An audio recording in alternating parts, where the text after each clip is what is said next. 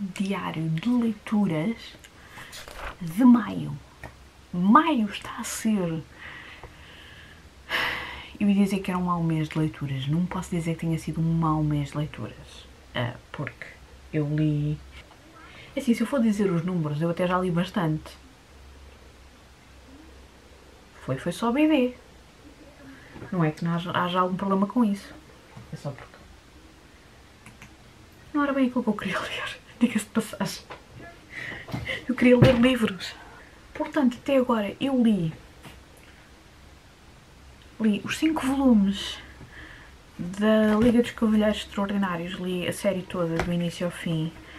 Uh, tenho os dois volumes que fazem parte do segundo volume, porque isto agora ficou cheio de luz. É, enfim, não interessa. Uh, adorei. Vou fazer um vídeo sobre uh, livros que li por culpa deste livro. Uh, porque eu comecei, eu, eu, descobri a Liga dos Cavalheiros Extraordinários já há 10 anos. E lentamente tenho estado a ler vários clássicos por culpa deste livro. alguns tenho estado a colecionar lentamente, porque eles não me apareciam em português assim tão facilmente. Eu sei que eles existem em português, como por exemplo Dr. Jekyll and Mr. Hyde, o Drácula, um, As Minas de Salomão, uh, O Homem Invisível, o 007. Tudo isto são livros que eu sei que existem em português. Não aparecem é nas livrarias convencionais. Uh, se calhar agora com, com as... Um, com o ressurgimento dos livros em segunda mão, talvez fosse mais fácil. Mas no sítio onde eu vivo, não. Um, e há mais de 10 anos, eu digo que foi há 10 anos, mas já foi há mais de 10 anos que comecei a ler este, esta série, um, eu não tinha assim acesso livros em segunda mão por, cá, por dar cá aquela palha. Portanto, era aquilo que havia na livraria e uh, ou comias aquilo que havia na livraria ou então ficavas a chuchar no dedo. Até porque eu não comprava livros online. Só em 2013 é que eu comecei a comprar livros online. Uh, portanto, e isto já foi em 2000 e troca o passo 2005, 2006. Ai, meu Deus, há mais de 15 anos atrás. Uh, portanto, uh, vou remeter uh, portanto, os livros que eu li por culpa de, de, de, da Liga dos Comentários Renato para esse vídeo. Uh, vou, fiquei com mais uma série de livros na minha lista, porque, entretanto, como li o resto da série, houve uma série, umas quantas personagens que apareceram que que eu vou querer ler. Um, vou querer descobrir mais coisas delas. Um outro livro que eu li foi o Sea of Stars, do Stephen Green e... Ah não, espera, são quatro. Jason Aaron, Dennis Hallam, Stephen Green e Rico Renzi. Quatro autores para singela banda desenhada. Este... Está bem, está certo. É o escritor, o artista, que faz as cores, ainda existe o letrista que não aparece na capa. Porquê os letristas nunca aparecem na capa? Está mal. E é tão importante porque umas boas letras fazem toda a diferença numa BD. Depois de ler uma série de BDs do Alan Moore que são quase impossíveis de ler, decifrar o que está lá escrito, uh, comecei a cada vez mais a apreciar quem faz a parte das letras. Uh, na banda desenhada, já para não falar na parte do design, mas isso já é outra conversa. Isso já são outros 31. Este livro foi-me oferecido pela Sofia do The Daily Mass. Sofia do, não, Sofia do canal, talvez, Sofia do canal do Daily Masses. E, por acaso, um, do Jason Arrow, Aaron, uh, eu já li o Southern Bastards, não li tudo, mas já li pelo menos dois ou três volumes e adorei é mega violento, uh, é mesmo só filhos da fruta, filhos da puta, pronto. Um, numa cidadezinha perdida por trás do sol posto, no sul dos Estados Unidos, uh, super violento, existe em português, a arte é espetacular, portanto fica curiosa com este, este foge um bocadinho mais, é isso, passa-se no espaço, e é sobre um pai e um filho que vão numa, numa viagem ao espaço, porque o pai trabalha num. num faz carga de, de, de mercadorias entre sítios e ele esteve a carregar uma série de, de, mercadorias de um museu que tinha sido desmantelado. Um, e depois existe um acidente e eles ficam perdidos um do outro no espaço. Uh, e tem criaturas fantásticas como um macaco falante e uma baleia do espaço.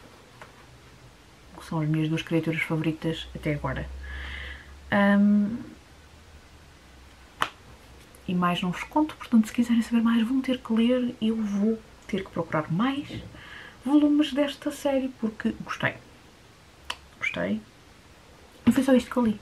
Uh, não tenho lido mais nada. Tenho excelentes livros para ler em maio, uh, como por exemplo Mariana da Monica Dickens, que eu, estava, que eu adorei o início, mas não voltei a pegar no livro. Depois estava a ter alguma dificuldade a entrar no White is for Witching da Ellen Oyeyemi, que sempre dificuldade em dizer o nome desta senhora, mas que entretanto já li quase 80 páginas, já li quase não, li 80 páginas, e uma história um pouco estranha na, medida em, na maneira como está a ser contada.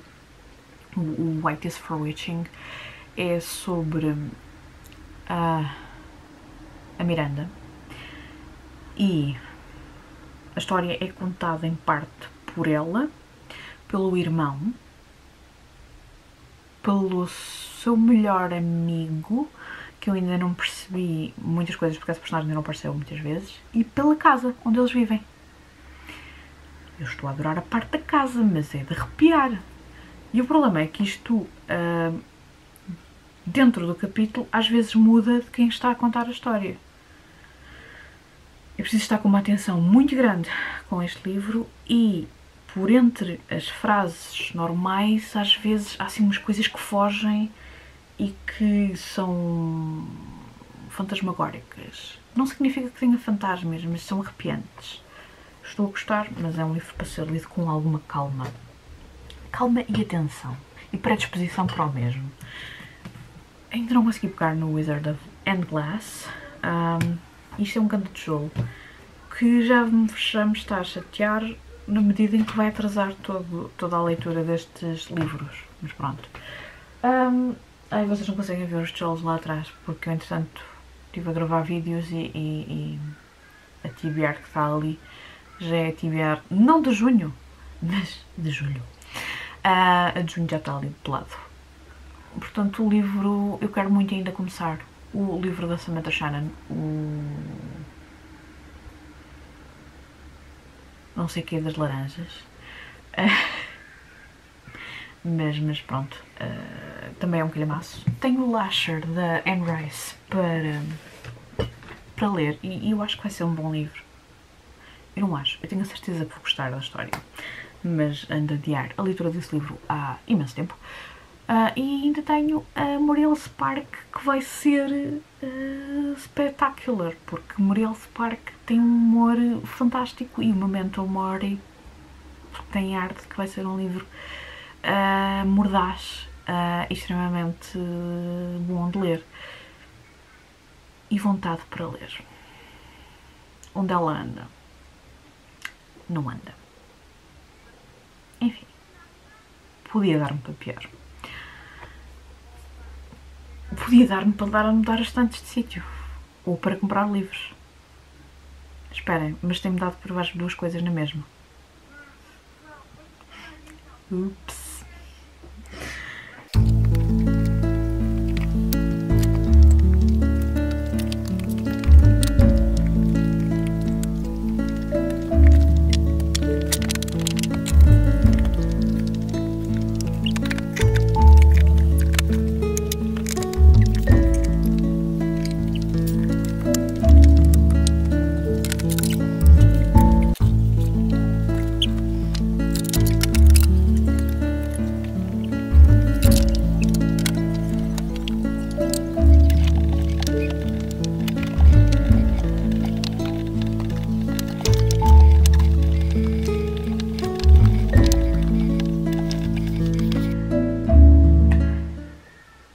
Pode ser que daqui a uns dias vos faça um outro update e vos diga que já estou a ler imenso, ou se calhar, não, nem por isso.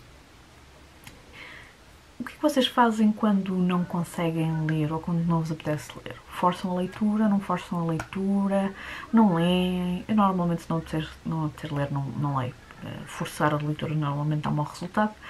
Um, e não me tenho permitido olhar para as tantas, a, a, olhar para outros livros e pensar assim, vou ler, uh, porque efetivamente todos estes livros me entusiasmam, uh, a vontade de ler é que é outra conversa. Mas pronto, digam-me tudo nos comentários e até um próximo update.